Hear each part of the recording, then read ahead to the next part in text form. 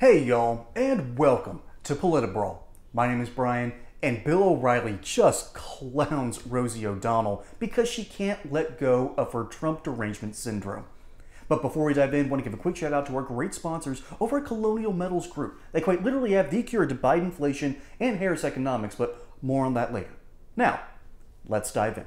You know, my hope is that we get to continue as a democracy in this country, that we get to have elected officials representing the people as our forefathers created. And what Donald Trump is doing is trying to become an authoritarian, a dictator, and he is the worst thing that ever happened to this nation. And there are so The many worst? examples that it's ridiculous to try to name them all.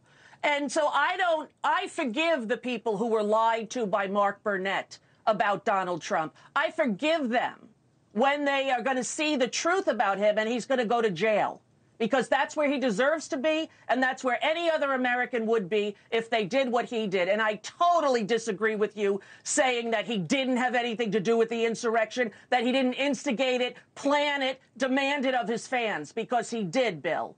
He did. Well, you'll see, we'll see in court what is presented.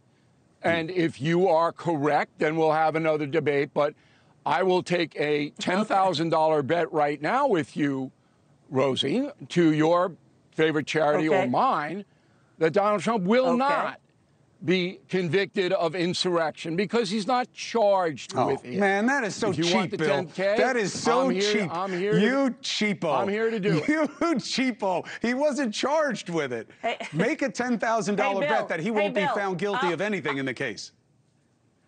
I'll make that bet. Ten No, he wasn't that he charged with insurrection. Guilty. All right, you got it. Not of that. Not Yeah, of that. got He wasn't Of other charged with it. charges. Sneaky Anything Bill. he is You know, charged with, I agree he will be guilty. You take Okay, that bet? We'll see. Um, you know, I'm No. not really fearful of our democracy because there isn't anybody uh, more outspoken in this country than I am about politics and other things. And my freedom was not impeded one iota during the Trump administration. And I don't know any broadcaster's freedom who was. You still have the view on every day pounding Trump into pudding. Nothing happens. All the working people I know were better off under Donald Trump, so there wasn't any economic consequence. So I really don't That's know what the hyperbole is. That's bull. And that's why I reject it. That's bull. Rosie, with all due respect, you're not going to be successful saying that democracy is on trial and anybody who supports Donald Trump is a fascist. You're not. I mean, those people are going to reject you Well, 100% I might- because there's a lot more to okay. it than you are presenting. He's right. He's right. Calling Donald Trump a fascist means nothing. Mainly because we don't know what fascism actually looks like anymore. We kind of destroyed it after, uh, you know, marching into Berlin. And then we successfully rehabilitated Germany, just like the same way we did with Japan. And then we helped make South Korea into the powerhouse that it is today. So I, I, I don't think liberals truly understand what they mean when they say fascist, because the actual word means everything within the state, nothing outside of the state. The original fascist ideology was basically a criticism of Karl Marx, saying we love the idea of the dictatorship of the proletariat, but we also like the idea of having private property because we kind of need that to function as a species mainly because Marx didn't understand economics, he understood history. But that's another topic for another debate. And furthermore, that garbage at the beginning. Okay, Rosie, I get it, you have Trump derangement syndrome.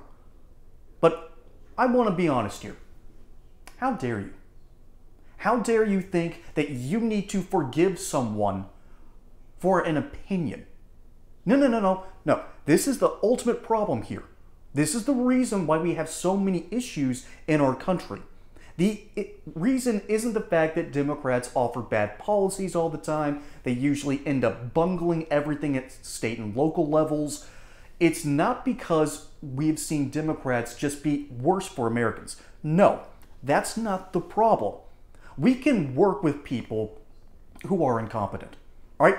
it is possible for your company to have some incompetent people running around, but they, they're family, they're good people, they show up on time, they're at least able to do a couple of small tasks here and there. That's not the problem. The problem is that this woman, Rosie O'Donnell, thinks that she needs to forgive you and absolve you. This woman automatically looks at the average person and thinks, I'm better than you. Hey, y'all, I'm not exactly looking at retirement anytime soon, but my parents are, and friends of my parents are, and I'm sure either you or someone you know is looking at retirement and wondering, what do I do? How do I help prepare for this in this economy with this terrible president and with a vice president who basically coup d'etat him and is now looking to run for president herself? How do you protect against this? Well, simple. You go over to my friends at Colonial Metals Group. They quite literally have something called the Retirement Package Plan.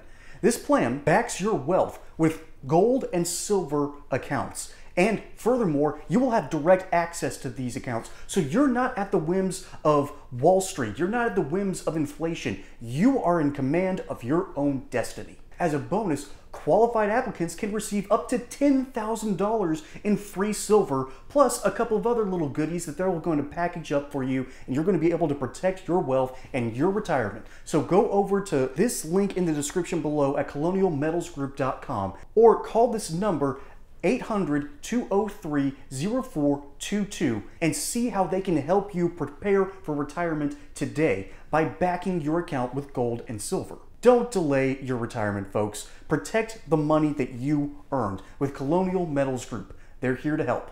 See, the ultimate issue in the Democrat Party is not the fact that it's a large coalition of union workers, blue collar workers, black men, white dudes, Latinos, women.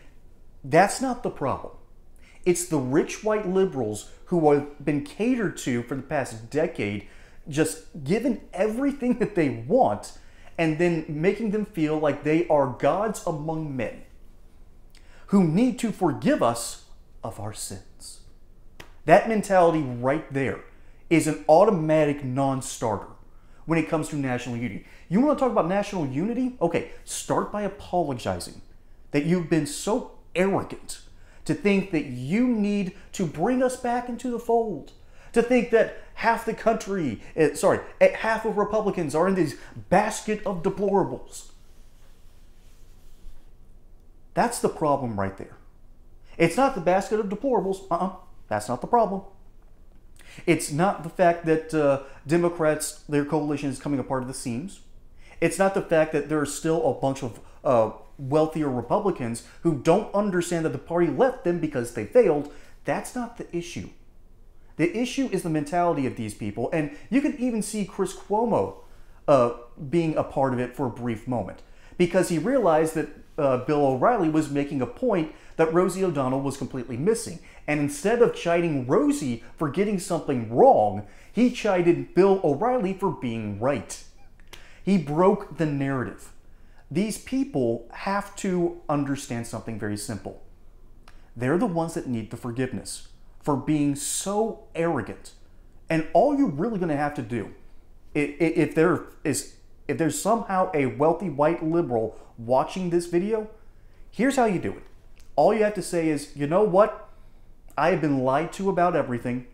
The entire worldview that I have been given and bought into is based on lies. And I probably need to ask some forgiveness because I've been so wrong. You, Rosie, you don't need to forgive us because there's nothing to forgive.